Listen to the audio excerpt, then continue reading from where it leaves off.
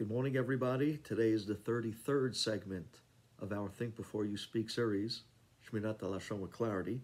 Lilu Nishmat Chafetz Chaim Zechet Tzadik Lebracha. Lilu Nishmat Luz Aliza Bat Henriette and her children that passed in the fire. As well, this should be a great zechut for the Yeshuot and the Shefa for our Bnei Chabura, for Klal Yisrael. And this should also, these halachot should be dedicated for the great Parnasah, Yeshua Gedola, and the Psurot Tovot, V'chaim Davidom Chayisar. The name of today's halachot, the title, is Speaking Innocently. Now think of this for a minute. If you're sitting with people and there's someone who really innocently starts slipping back and reminiscing about stuff of their past, especially their childhood, younger years, and they're just, you know, telling over stories of what they remember as growing up, speaking very innocently. And amongst those stories, they start telling over incidents that start to portray certain people in a negative way. Like they say over, uh, oh yeah, and then this person got kicked out of camp, or this person got kicked out of yeshiva.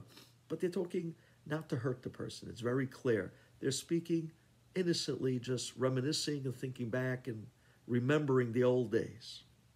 Is that considered Lashon Hara, where you're not allowed to listen, nor to accept or believe the information as true or not? In the Gemara, we call this Masiach Lefi Tumo, which means the person is telling over a story, or they're recounting information, or an incident that portrays someone in a very negative light, but they have no intention to speak bad or to degrade the person or to instigate even. They're just simply telling over, you know, old stories.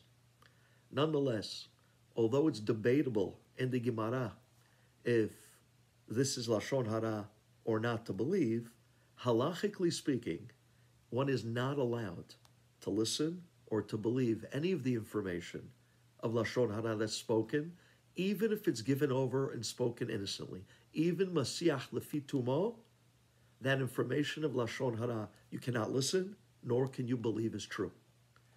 It's very interesting, the Tana, Rabbi Lezer Hagadol, he told his son, don't even sit amongst a group of people that's gossiping. Don't even sit there.